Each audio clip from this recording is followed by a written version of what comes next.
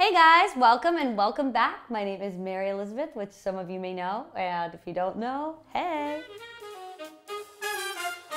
Today I am making over my linen closet, which is very exciting because Casa Mi, that's my house, has been very neglected for a little bit. I know you guys are wanting a house tour, room tour, any kind of tour, which I promise is coming, but I'm gonna start doing more and more projects again. I actually have to do my whole bedroom over again. So that's part of the reason I haven't done that. I've always loved it when people painted the inside of their cabinets in their kitchen or in their china hutches, and I just thought it would be a really cute opportunity to get to do that in my hallway because finally I have a linen closet. I chose a semi-gloss finish for the paint because it's similar to a bathroom and you can wipe it off and clean it super easily. And I got a really cute light pink color and it really complements and matches that wallpaper perfectly. I also chose instead of a small roller to do the square and that was a lifesaver because you could really get into those corners and it made it super easy to cover the space in a small amount of time. My linen closet was a bit of a catch-all for everything, so it was really helpful to pull everything out and just kind of start from scratch, what I need in there, what I don't need in there, and then have the following bins hold all that stuff. I chose to take my black plastic baskets and just spray paint them white. It just kind of added to it being light and bright and feeling new and fresh, and I didn't have to buy anything new, so score.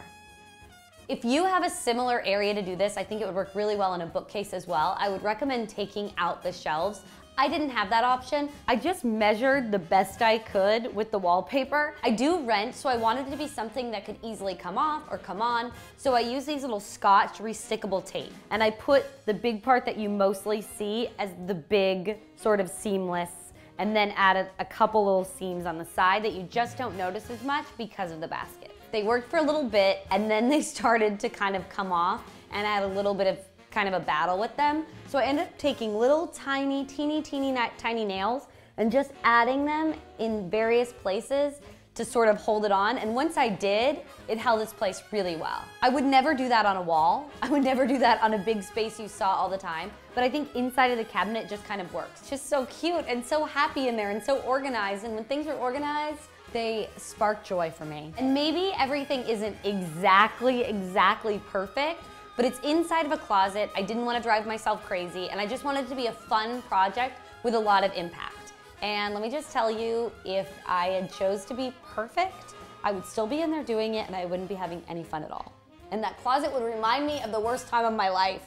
My linen closet went from being this horrible, scary catch-all to being a space that's super organized, looks beautiful, and actually makes me feel better when the doors are open than when they're closed. Design doesn't have to be serious, it doesn't have to be complicated, it can just be really fun, and if it makes you happy, I think that's the most important part. I'm telling you, that's the happiest linen closet I've ever seen. Thank you guys so much for watching. I hope this inspires you for new projects in your home. If it does, I would love to see them.